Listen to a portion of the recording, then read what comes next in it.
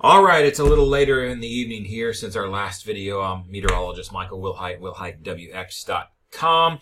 Um, data has rolled in and it's still rolling in at some point, but I feel confident enough to at least issue a snowfall forecast, a first call map.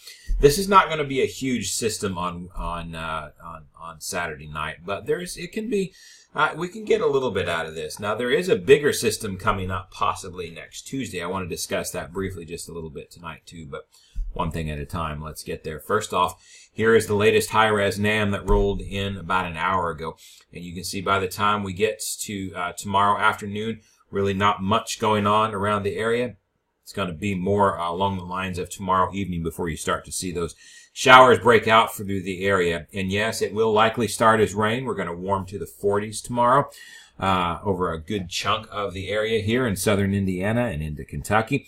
And so that'll, that'll leave it warm enough for it to be mostly rain. But you will start to see those pockets of snow sort of mix in here with it every once in a while. And as I put the loop into time, you can see as you get into the overnight hours, this is about 1 a.m. Well, that's when you're really starting to see, you know, this transition to uh, snow and you'll watch it sort of start to overtake uh, most of the area here then after that. Uh, as you put it forward in time. Uh, then, you know, by the time you get to about 7 a.m. Eastern time here, on Sunday morning. Uh, again, you've got some light snow still over much of the area. You might possibly be mixing back in with some rain. That rain snow line is going to uh, move back and forth just a little bit as we start to warm up, uh, a little bit on Sunday. We're going to stay above freezing for the duration of the, this event for most of us until we get into uh, late uh, that evening when the Arctic front comes through. But we clear out that morning as it pushes off to the east. You notice there's some more precipitation coming here. That's the Arctic front moving in. The latest high-res data suggests that some snow goes a little bit towards the north of it of us here from say Indianapolis, uh, Bloomington, and, and, points on towards the north. Doesn't really have a whole lot for us uh, down here uh, that would angle here into southern Indiana and to Kentucky, where I primarily forecast for here for, uh, but uh, we'll see whether that fills in. Uh, remember how how the data handled yesterday's snow, Thursday's snow. Uh, for days, it had said yes, it's going to snow, and it's going to snow, and that's that. And then once it got closer to the time within three or four days in there, it said, nah, it's going to be entirely rain. And then it was not until high res data actually picked it up uh, the day of the event that's like, oh, hey, it's going to snow.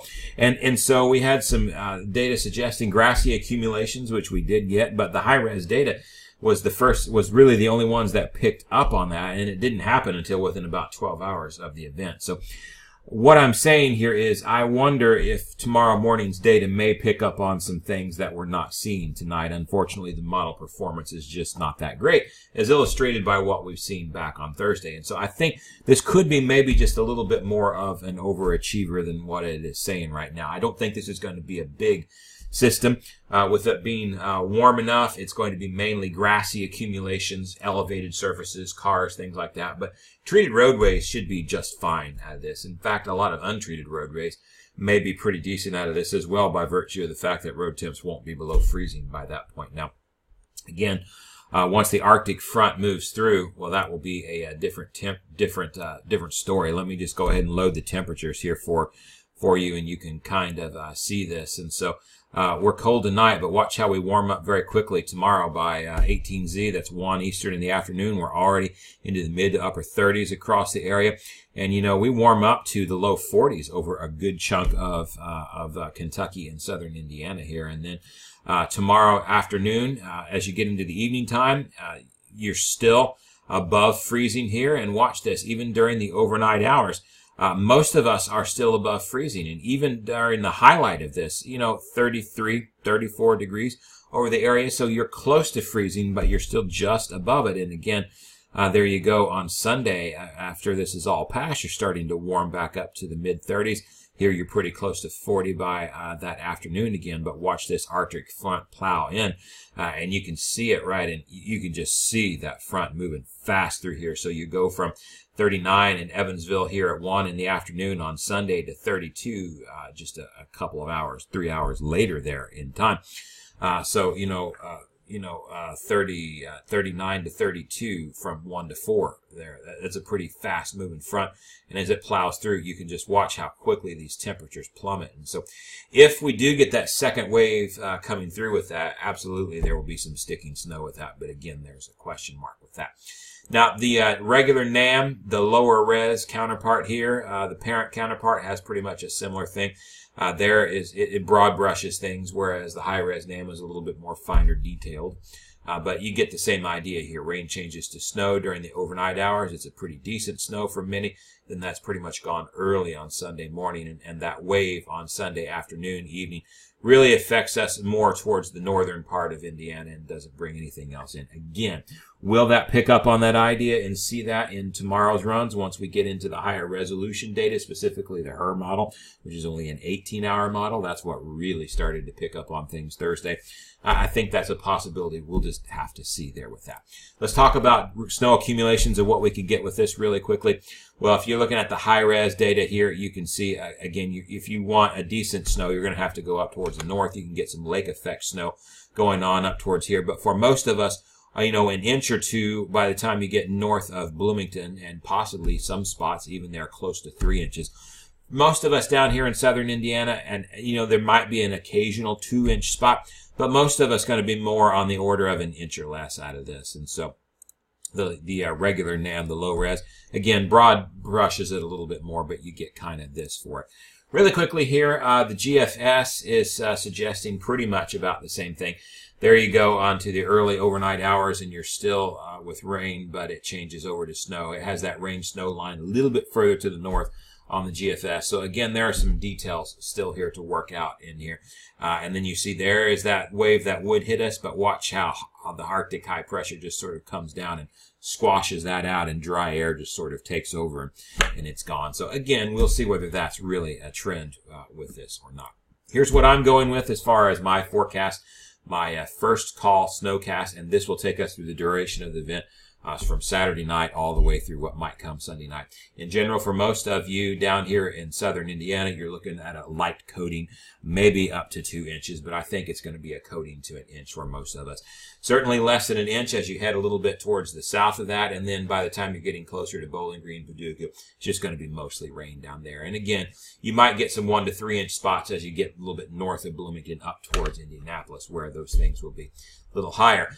Uh, uh, and where it won't be nearly as much rain. It'll be mostly snow there. So again, your timeline, rain changes to snow late on Saturday night, grassy accumulations, accumulations on cars, elevated services, likely by Sunday morning. And then we may or may not get that second wave in, but if we do get that second wave in on Sunday night, you can expect a little bit more light accumulations with this. But in general, we're not looking at a very potent system out of this, just a, a winter threat level uh, of one, just kind of a nuisance threat there, if you will. Now, really quickly, let me shift gears just to talk a little bit about next week. We've got an active pattern coming up, and so on Tuesday, we've got a little bit more uh, rain and snow, and unfortunately, it looks to me like that rain snow line is probably going to fight us right in the area again.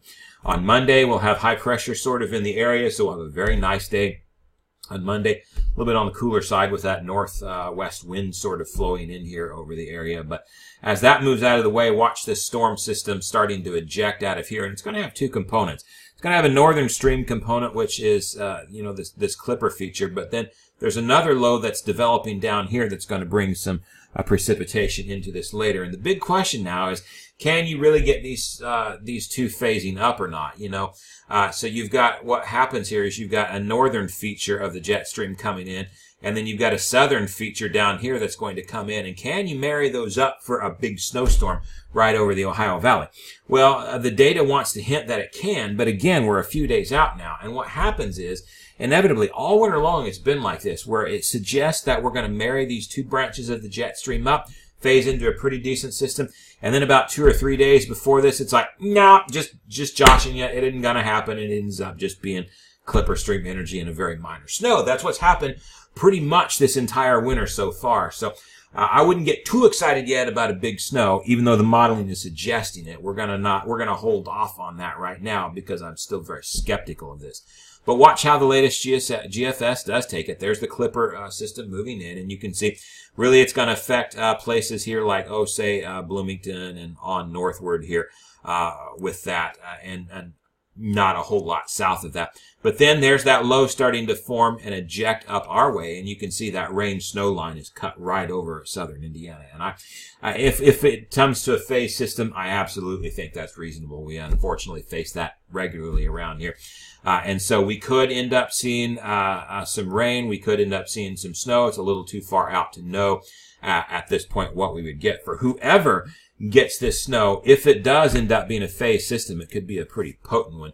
Just what the GFS has right now. And again, take this with an extreme grain of salt because I'm not trusting it one bit at all. But it just illustrates for you as we look at 24 hour precipitation totals for this event as you go through.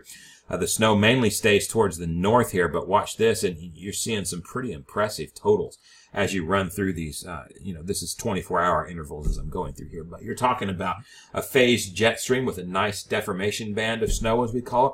And this is pretty much to the north of India, and it just hammers uh, that with some snow. Now, what would happen if that low uh, and that northern stream do phase up just a little bit, but instead of being up here, the low is more like here, then shift everything down to the south, and all of a sudden, southern Indiana and northern Kentucky is into that uh, risk for some heavier snow. So the track is by no means set in stone yet. Uh, I would bank more on this track than I would the thing moving to the south. Uh, we don't have very much blocking going on up in Greenland, and so you're not going to necessarily have that northward uh, track out of it where the jet stream's kind of buckling and you're forcing it to kind of eventually go up and around. Uh, and with it uh, being a pretty weak low, this is a 10, 11 low pressure. That's a pretty weak low. Uh, it's probably not going to want to go poleward unless it's a deeper low. Uh, so I, you know, I think it's going to be, uh, I think this is a pretty reasonable track for it.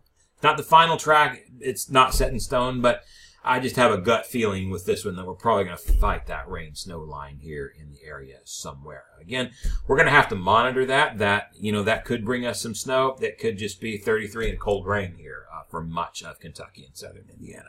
Uh, that's the way it looks right now, unfortunately. But, uh, and then there's also the real possibility of what happens uh, here could uh, happen, uh, could be what happened all winter long, in that uh, what happens is the southern energy sort of outraces it, and the Clipper system doesn't catch up in time, or vice versa. It's happened both ways this winter, uh, and so they never marry, and then this could be entirely wrong, and what we get end up with it is maybe just some light snow again, and with it being just the northern stream, I would bank on that light snow being uh, kind of more up in this direction than uh, I would down in here, uh, just by the angle of where this is coming in. So that's something that we are going to have to watch. And then, of course, behind that, we've got more systems coming in. You see uh, another bigger system starting to dive down here that could affect us as we get later on in the week here as well. The uh, zero Z run is not entirely in for that yet. So let me just sort of uh, shifted down here to the 12Z and, and, show you that there there was more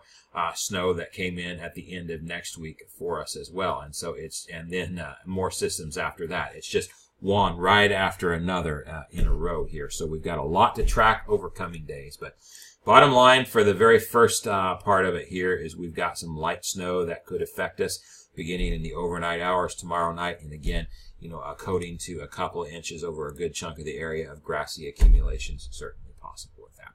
I'll have more details on this tomorrow, and uh, that's it for now, folks. I'm meteorologist Michael Wilhite here. Uh, wow, those are old snowcasts. Ignore those. Uh, sorry about that. All my snowcasts are in the same folder, and hitting the wrong button and starting to go through. But there is your current one. I'm meteorologist Michael Wilhite, Southern Indiana weather, Lower Ohio Valley weather, wilhitewx.com. Uh, keep it tuned here for more